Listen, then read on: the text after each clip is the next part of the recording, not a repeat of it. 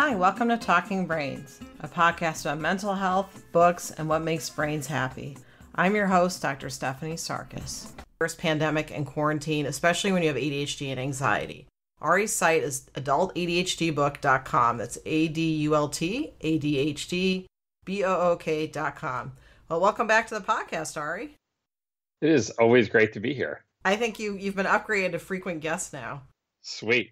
Does that mean I get like flight upgrades and stuff like that? Sure. Wait, that's how nobody's convincing? flying. Oh yeah. Nobody's... Oh, that's so you get what, all the. What upgrades. flights would that be? You get free flights. you get all the travel you want. Right. But it's Excellent. only good until the end of the month. Oh. I'm surprised there isn't a business that's giving away free flights and stuff just to be like, hey, here's all this free stuff, and they'd be like, oh, too bad you can't use it. That'd yeah. be a good marketing scheme.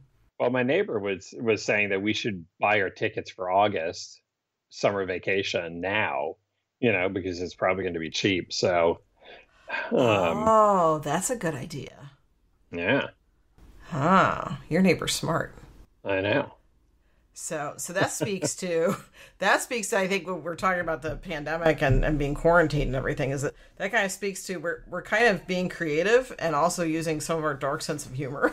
To, right. So, to tell me a little bit about what you see in your practice as far as when people have ADHD and because anxiety we know is comorbid what 50% of the time the ADHD what have you noticed from people that you've been talking with and just generally about how people are, are coping with the with self quarantine. I know a lot of people have stay at home orders.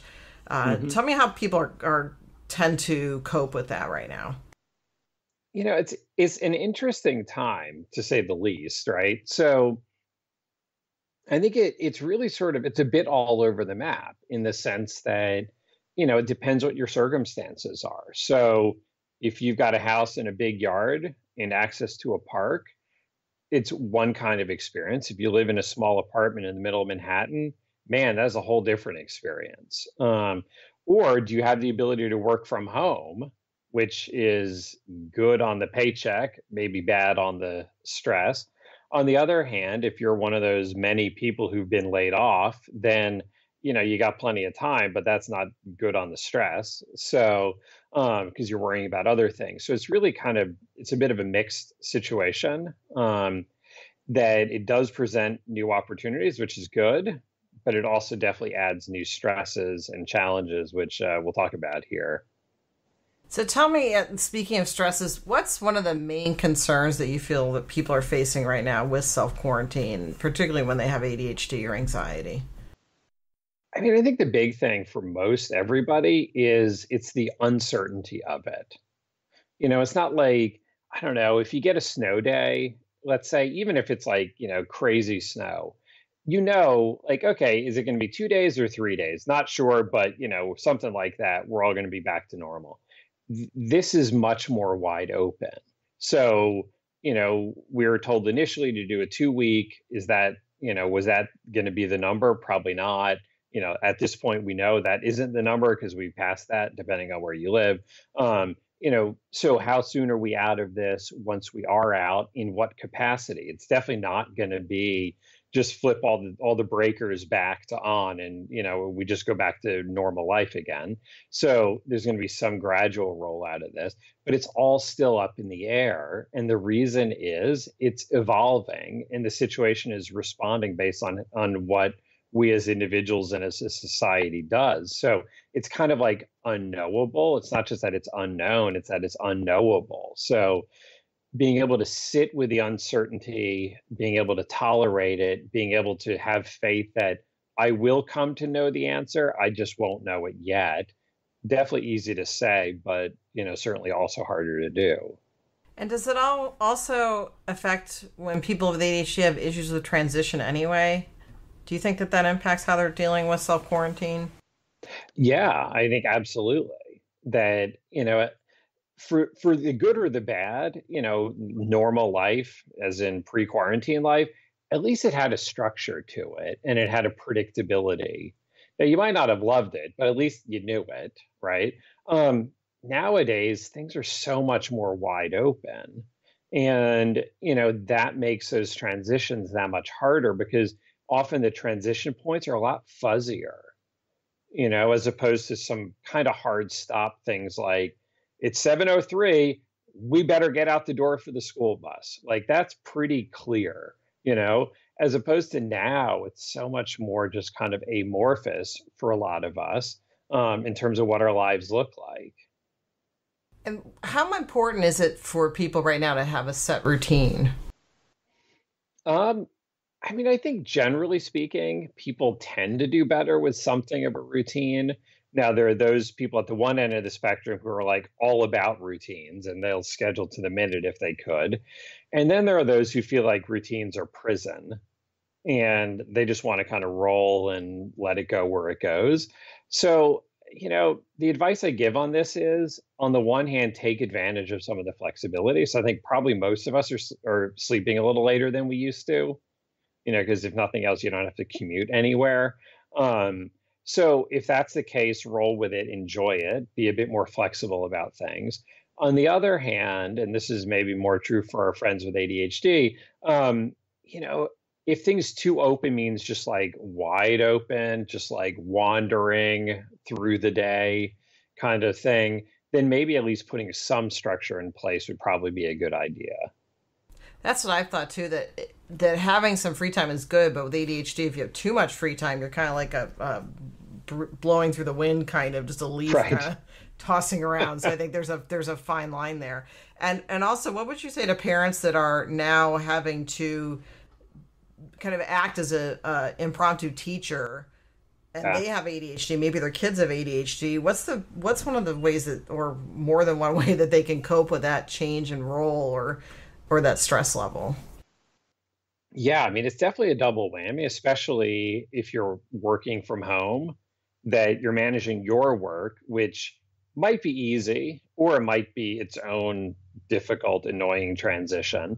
Um, and then you also have to moderate your kids and their education so um, and not even necessarily the work itself so much as like the doing of the work time to log on. No okay seriously you need to focus on this. No do not go over to fortnite. That's not what we're doing right now.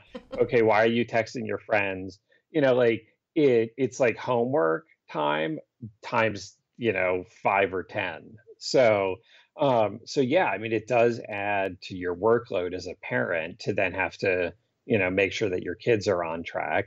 And you know, if they're 15, it's one thing where presumably they're a little bit more self-directed. But if you got little ones, you know, elementary school, I mean, you know, you can't just tell an eight-year-old like, okay, get online at, at 9:30. I'm going to be on the computer in a meeting. You know, so um, so it does kind of increase the workload and the just getting used to it all that we're all trying to do here. So it sounds like part of this is just adapting to our new normal. Yeah. And we don't know how long that normal is going to last, that new one. So yeah. I, I, somebody had a quote I thought was really good. It's not that we're working from home; we're working during a crisis, and we have to be working from home. Right. And I thought that was a really good point that this is a crisis and we need to kind of acknowledge that things are not going to go exactly the way we plan because nobody's done this before. Right. Yeah, exactly. And, you know, certainly in terms of like kids in school, we've seen this where, you know, I've talked to, I mean, I know this from our end. I've talked to other parents, I've talked to students. I've even, you know, had some, I have some teachers who are clients and talked to them. And, you know, it's sort of like, there's been this rolling out of or evolution of the plan like this is what we're doing two days later. Okay no actually that that's not what we're doing. Okay now here's what we're doing. That oh actually no it as it turns out that's not the thing that we're doing. So anytime you think you know what's going to happen like who knows if that's actually what happens so you know because the the teachers and the schools are trying to figure out how to do this from a technology perspective, from a logistical perspective. Um, some classes transition very easily to online, others really don't. And, you know, so it's this kind of like moving target, and none of us know when it's going to move again. And what would you say to parents with ADHD or just people with ADHD in general that they've had to work so much harder than other people to find a job that fits them and now they find themselves in the situation where the job they finally snag that job that fits their sleep schedule, fits their life. Yeah. And now that's been put on hold. What what's some advice that you could give to people who are in that position? Um, you know, I think the first thing I'd say is this is not forever. It might at this moment feel like forever. It might feel like you can't remember a time where this wasn't what your life looked like, but this will not be forever. And even on some of the longer, more dire forecasts, it's still not forever. So, you know, just keep the faith, hold in there. Um, and and this is totally not like you could totally go just pie in the sky rosy this is all wonderful like and that's not what i mean at all on this but but you know there are the parts of this that we can't control but then there are some things that we can do something about and opportunities to be taken advantage of. Um, and i'm not saying that makes up for the terrible cost that's being paid but sometimes you you know like you take advantage of what you can. So, you know, you and I were talking before we hit record, like this is great time for pets. You know, like they're getting way more attention and affection um, than they normally would when we all disappear all day. So, um, again, I'm not saying that makes up for the fact that people who lost their jobs and everything else, but you know, like there are some things that you can benefit from time with with your, you know, with your family who lives with you. Um, you know, I did a Zoom call on Sunday with some friends from high school. I did another Zoom call Sunday night with some friends from college. We never talked to each other because we're all too busy. So, like, that was a thing that never, ever would have happened if not for this bad situation. I think there's really somebody who said that because we because we meet as colleagues, the four of yeah. us that uh, that we've met what twice now. Um, that we are spending more time instead of just texting each other, we're actually talking to each other. Yeah. Um, and I think that speaks a lot to the fact that the slowing down of things. I think for some people with ADHD, that's been great, but I think for other people, it's kind of driving them a little nuts too.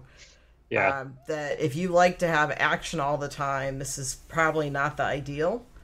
Um, and so I notice people are trying, starting to drift towards maybe, uh, I would say, risky behavior. And what would you say to people that are maybe drinking more or uh, doing things that are a little more daredevil, what would you say to them about how to cope when things feel just kind of like, as one of my patients said yesterday, it's boring with a capital B?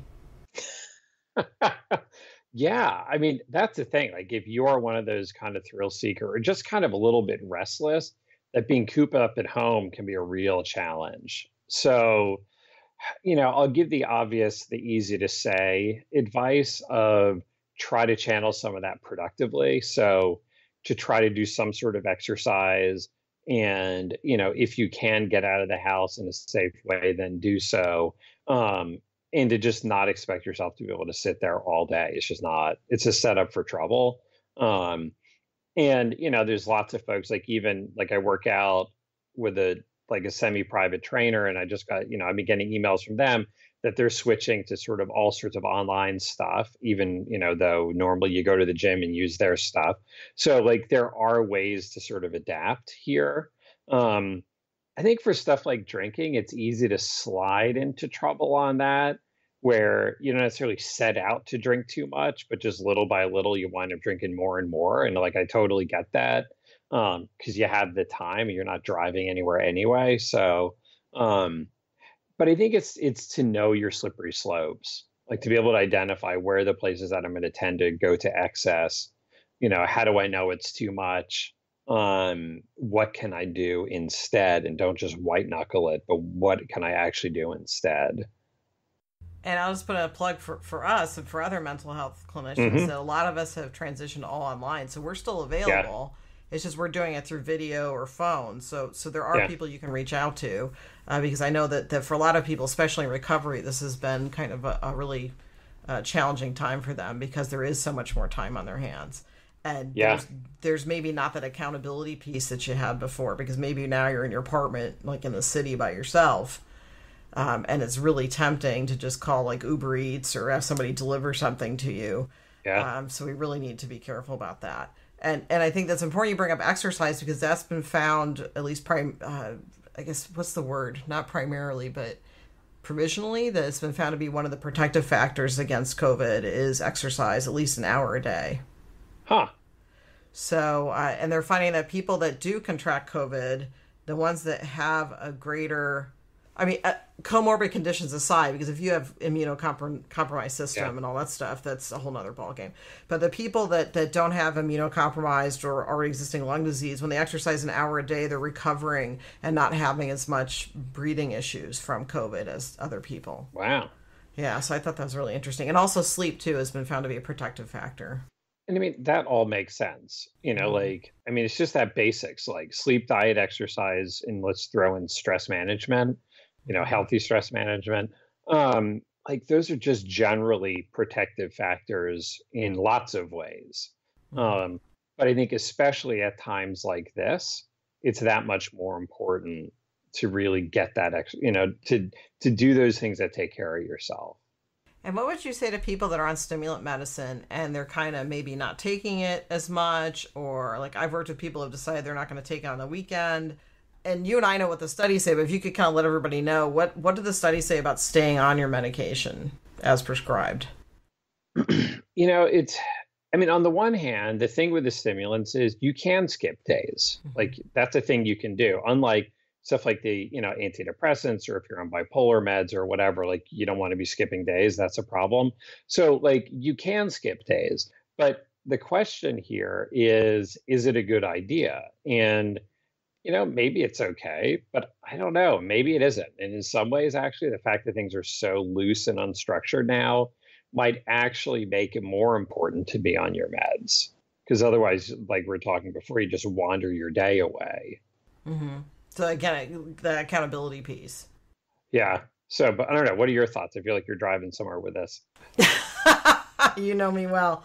Um, I I think that ADHD is an all-encompassing disorder, as we've seen in research. So um, I I say to people, unless you're experiencing a side effect, keep doing things the way you've been doing them. Um, if you don't take your medicine on the weekend usually, then maybe continue to do that. Always check with your doctor. Uh, but if you're experiencing something, call your doctor. I mean, I know they're really busy right now, but also if you're having some issues with your medicine, just contact them.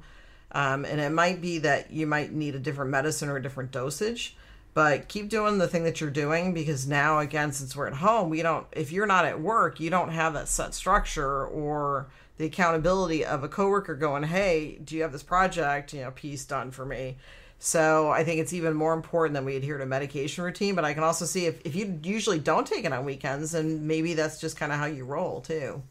Yeah. Yeah. And you know i think the general thing also just of like in this unstructured different time, sometimes to carry those routines with us is a good idea. You know, it just sort of helps kind of ground us and at least feel like there are some things that have stayed the same. There are some things that we can control. Mm-hmm. You know, unless there's an issue where I don't know, you're running out of medication and then you may want to conserve it. Like, okay, that that's a di- bit of a different situation. Yeah, um, that's a um, good point too, because sometimes medications just aren't available right now too. So right, right, or you can't get a refill yet, or right. you know other issues like so. They're the pragmatic matters, but. Right. And how about couples that are now finding that they're working together from home, and maybe that wasn't the case, you know, two weeks ago? What would you recommend for them, especially like if one has ADHD and one doesn't? Because that was a majority of your research for your book. Yeah were couples where one does one doesn't have it so what what are some things that they should kind of look out for what are some possible outcomes how do they cope with that i think you know the biggest first thing i would recommend is talk about it you know that this is not a normal weekend this is not just a regular like i don't know that week between christmas and new year's when a lot of people are home and not much is happening like this is a whole different situation so talk about what you each need. Like, what's going to be the best way for each of you to get through this? How do you work well together? I've had lots of conversations with folks about, like, you know, where they're trying to figure out who goes where, like what room are people in or what times or whatever. Um, and to sort of have some of those conversations about stuff like that. Um, and to just recognize that you may have different needs. But as and this is kind of again easy to say, but to try to take advantage of some of this time that, you know, for a lot of couples, the complaint is we don't see each other enough, you know, because everyone's running in too many directions. Now here's a chance to actually see each other. And I mean, be careful yes, what you what you ask for. yeah, exactly. so you know, we still need time apart. I think that's still important. But you know, I think sometimes having a bit more like making a point of using some of that time to spend together. And, you know, some of that means kind of fooling around sexy time. And some of it's just like whatever time or like playing a board game as a family or going for a walk or, you know, like whatever. Um, but to try to b- get some benefit in the relationship to this time that we didn't necessarily ask for, but here it is. Right. So I guess the moral of it is, is it try to make the best of uh, of an unexpected situation. Yeah. And what would you say for couples that that you know, the beginning it was like, oh boy, we have all this time together. This is great. And now that we're what, like one, two, three, four weeks in, that honeymoon's yeah. wearing off. Would you say that that's pretty usual for the couples you're working with?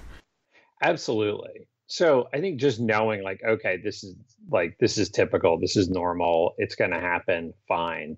Um, so, you know, I think it may be a time to kind of reassess your expectations or maybe to talk through again like okay so so what are we doing now that this has kind of been a while we're sort of at it now what are we doing and maybe to sort of shuffle some things around or to just have some honest conversations about like i feel kind of stir crazy or i miss our friends i wish we could hang out with them nothing personal against you like that i see all the time but you know, but I also miss our friends, and and those are both true things, you know. Right. So, um, you know, sort of think about I don't know how to sort of mix it up a bit so that it's still good to be there.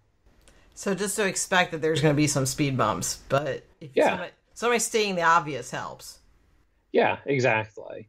And you know, I think that what can happen with times like this, where we spend a lot of time together, is it can sort of it can magnify both the good and the bad. You know, so the parts of the relationship that are working well can be even better, or we feel even happier when we're together. But couples who are struggling already, this can then kind of magnify that struggle and unhappiness. Which we're kind of seeing in China now. There's been an increase in divorces and also an increase in pregnancies too. Yep. So yep. so we're seeing two different things happen, you know, as a result of being quarantined. So it sounds like uh, like like any other crisis, it emphasizes the stuff that's working well, and also can emphasize the stuff that's not working well. Yeah. And can be a catalyst to move in either direction. Yeah. Yeah. And you know, like if you feel like these circumstances are pushing things more to the negative or amplifying the negatives, you know, this may be a time then to say, okay, seriously, we or I, like, we need to do something about this. You know, like, this is, it's much harder to ignore this and just kind of chug along. So, how do we, like, what are we doing here? You know, how do we make this a better place for us to be? Can't change where we are. So, how do we make it worth sticking around? That's a good point. So, what if a couple decides that they're like, you know, we just need some time apart, and now you're in quarantine? What options do they have?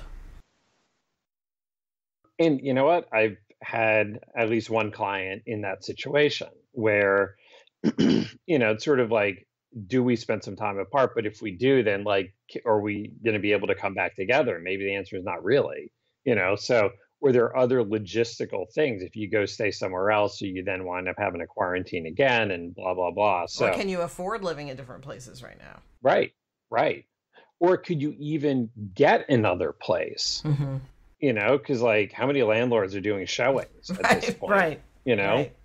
so so yeah. I mean, I think that it becomes more a thing of like okay, let's try to find some ways to get some time apart. So maybe I'll stay in these rooms, you stay in those, or you know, at night I'll watch TV here, you go do that stuff there, or you know, let's try to get out of the house at least, you know, one of us so that we get some time apart.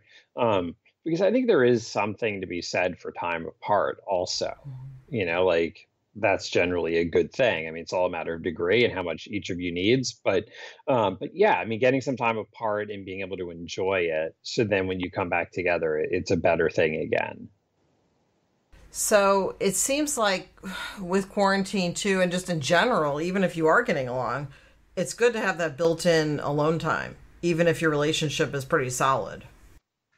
Yeah, yeah. I mean, it's that old absence makes a heart grow fonder mm-hmm. idea. And I guess we all have different levels of how much apart time we need and how much together time we need. Yeah, yeah. And to switch tracks, what would you say to people that have anxiety and have a somatic component, meaning that they tend to uh, express their stress or anxiety in physical ways, like stomach aches, headaches, or chest pain, or even panic attacks. What what are some kind of words of guidance you could give to people right now that they, and also with allergy season, people are waking up with scratchy throats and, and assuming that yeah. they're getting really sick. So what's what's something that we could say to them to help them with their stress level right now? I mean, I think some of it is just to sort of recognize that all that old normal stuff is still happening. You know, people still get sick just that plain old cold, um, or it's just plain old allergies, as it is every year. Um, so, you know, so to not kind of run away with something with the idea of like, oh my God, I have COVID. I mean, you might, but but also maybe not. Um, so don't kind of jump to conclusions, which is a lot of what anxiety does. It kind of runs us down the road. Like we start making assumptions, we connect things, we, you know, and often our imagination is worse than reality, is the problem with anxiety. So, you know, a little anxiety helps you think about and prepare for the future, and that's good. But beyond a point, it's no longer protective and it's actually making you more miserable, which potentially also makes you more vulnerable to getting sick if stress is knocking down your immune system a bit. So, getting enough sleep is helpful. Fact versus speculation. Yeah. What do I know for sure? What am I thinking? Yeah. That can help. And I've also noticed two people with ADHD and anxiety are telling me, well, finally, I'm prepared for what this is. Right. That, that this actually works in my favor. So, I've also had people tell me that they, uh, with social anxiety, they're actually like, oh, the pressure's off now which is right. interesting. So I think feeling relief is pretty normal too, which I think is not not everybody's feeling relief, but sometimes people are like, "Yeah, I've been I've been kind of prepared for this for like my whole life." and it's definitely true. I mean, it's kind of a funny circumstance in a way, like in an unfunny situation, but um but yeah, I mean, there are some people who like their anxiety feels vindicated, you know, like I've been washing my hands all the time and now you bastards, now you know I was right and I have all the Clorox wipes. right. exactly. You doubted me. Now who's laughing? Um, but you know, it's one of those things that like, okay, if it helps you feel better in the moment, fine, whatever. But I think it's also, you know, one of the things with anxiety is to not take that once in a while vindication as proof that you were right all along in that all the rest of the stuff that you did was worth doing you know because the problem with anxiety is it's not delusional in the sense of like probably most people with anxiety disorders are not worrying about like martians abducting them right which is an incredibly unlikely event they're worrying about things that are sort of possible maybe not as much as they worry but like could happen so someone with social anxiety sometimes they do say something stupid and someone is a jerk about it. Like that's not inconceivable, but it's pretty unlikely. So, you know, to say then that, you know, all this social distancing justifies my social anxiety, like, no, it doesn't. Like it does right now. But beyond this, or, you know, if you have OCD and you wash your hands a lot, it doesn't mean that after COVID is over, that you should continue to wash your hands 50 times a day. So, you know, part of the problem with anxiety is we take these little bits of proof as vindication to explain all the rest, and it's not necessarily true. Ah, so keep up with your treatment even after this yeah. is done. Yeah, yeah, and did not use this to justify more problematic behavior later. Ah, good point. So if there is one thing you want to leave people with during this time of you know unexpected togetherness, what would it be? I think it's to make the most of the opportunity that's here and again, not the opportunity we asked for, definitely not the circumstances that we would have, you know, wanted for people to spend a lot more time together at home, at least. Um, but here we are. So try to find the ways to enjoy it for what it is and to focus on the things you can do something about and to try to minimize the, the extent to which the things you can't control are dominating how you feel. Well, thanks so much for being on Talking Brains again, my frequent guest. Yes, my pleasure. It's always fun it. for us to hang out. And I'm going to repeat your website uh, to everybody. So it's adultadhdbook.com. And mm-hmm. you're Ari Tuckman, PsyD, certified sex therapist, and author of ADHD After Dark Better Sex Life, Better Relationship. And I'm Dr. Stephanie Sarkis at stephaniesarkis.com. And thanks for joining us on the podcast.